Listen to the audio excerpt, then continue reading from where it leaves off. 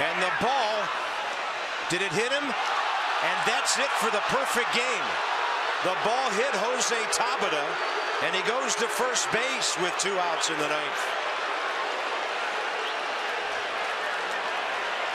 Well, that's just the worst way ever to lose a perfect game.